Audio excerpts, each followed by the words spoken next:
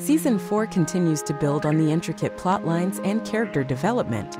Unfortunately, detailed episode information for this season is not available. However, we know that this season was meant to be a turning point, leading to the dramatic cliffhanger where Jim Longworth is shot in his home.